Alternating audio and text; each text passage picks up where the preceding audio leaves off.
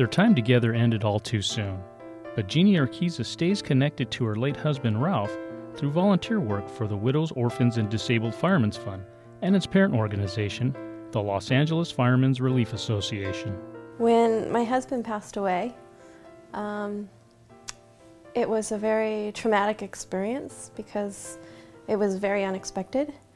And um, the Relief Association, uh, they were there from the moment we were in the hospital.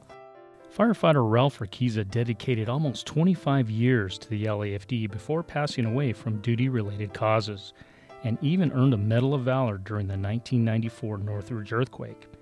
He was one of the crew members that rescued a street sweeper from a collapsed parking lot at the Northridge Fashion Center.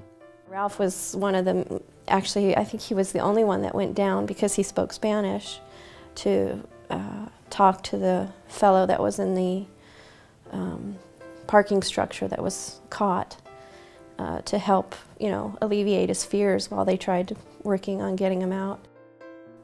Ralph spent the majority of his career at Fire Station 89. Um, he's a very energetic person. He, um, he loved the job. It was number one to him. He also ran the Explorer program at 89s and was very um, enthusiastic about passing on his passion to new explorers.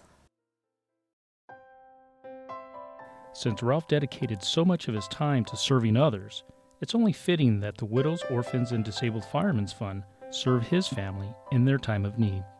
You know, they went with me to the uh, mortuary, they went with me to the, uh, the cemetery, um, they were there to, you know, talk uh, with me at the churches. Um, just, it was, it was incredible.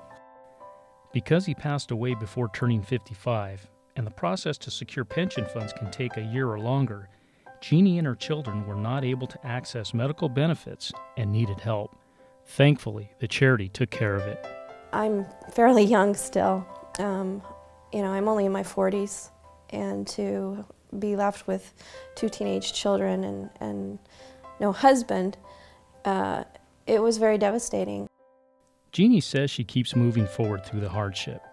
The charity also awarded her daughter with a memorial scholarship to pursue a career in nursing, following her parents' example of helping others. Giving back in honor of Ralph, Jeannie enjoys volunteering and has helped raise money at numerous fundraisers. Her favorite is the LAFD Invitational Golf Tournament.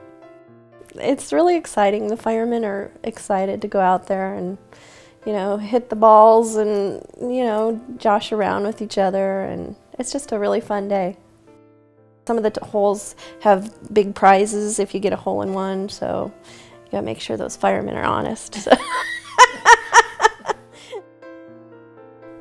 To thank a firefighter and their family for bravery, courage, and service, donate now at givetoahero.org.